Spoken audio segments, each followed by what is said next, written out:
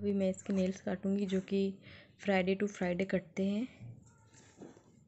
है ना गुलू? हाई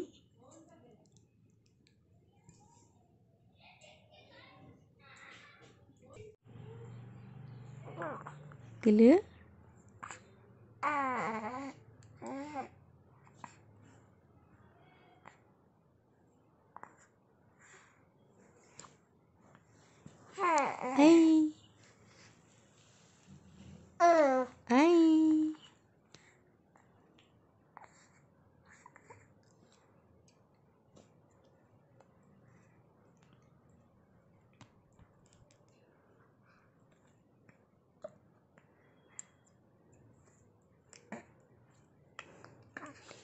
बहुत रहा है।